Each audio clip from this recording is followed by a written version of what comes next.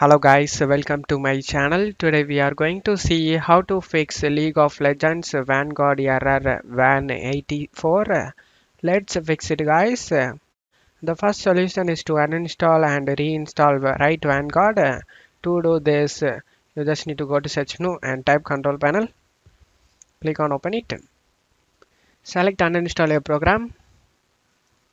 Search for Riot Vanguard just right click on it and select uninstall. And select yes. Select yes again. Pressing keyboard F5 to refresh this page. As you can see Riot Vanguard is deleted. Now you just need to close stuff here and open up Riot Client. Select the league of legends and select the update option and install the Riot Vanguard after getting update done you just need to restart your pc guys.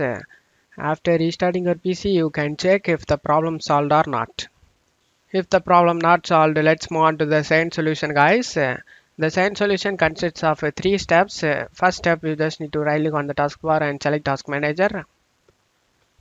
Select startup apps. In here you just need to find Riot Client services. Just right click on it and select enable it and search for vgtray.exe just right click on it and enable it. This is Riot Vanguard guys. After enabling both services just close stuff here. The second step you just need to go to search menu and type services. Click on open it. Search for vgc service. Right click on it and select properties.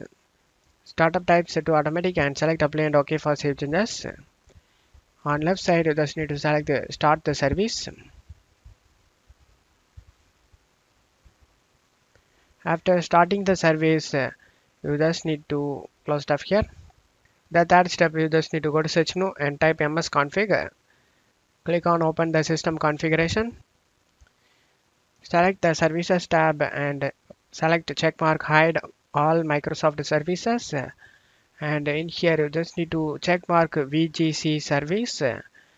After check marking it select apply and ok for save changes. Select the restart option and restart your PC after restarting your PC you can check if the problem solved or not. I hope one of these solutions fixed your problem guys. If the video helped you don't forget to leave a like guys. You can also subscribe me and support me guys. Thank you